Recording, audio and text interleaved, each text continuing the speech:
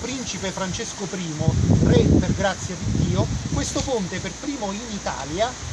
è stato eretto, inventato, diretto da Luigi Giura, ispettore di ponti e strade, in, con l'assistenza di nell'anno del Signore bla bla bla. No.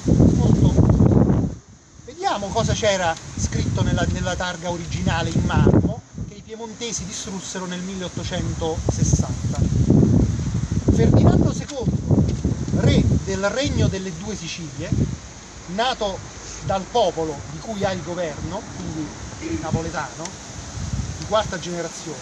quando erano utilizzate per l'attraversamento del fiume acque legate tra loro, eccetera, eccetera, per non recare danno al traffico dei veicoli e ai commerci, con documento di tutti, emulando la grandezza degli avi, comandò che fosse costruito con inusitata perizia,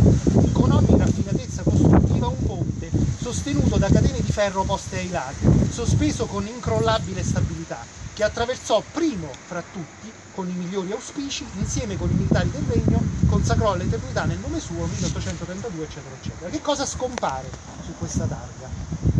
Il nome della... Scompare il nome di Ferdinando II, scompare il regno delle due Sicilie diventa Italia, scompare il fatto che il sud era pronto tecnologicamente ad affrontare una sfida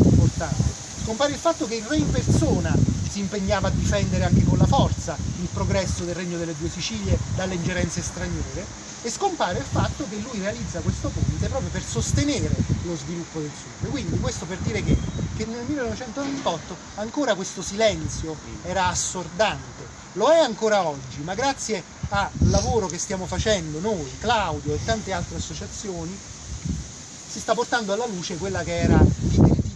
di un popolo, la memoria di un popolo e finalmente quindi la giustizia verso coloro che hanno realizzato determinate cose. Le catene, le catenarie, scusate,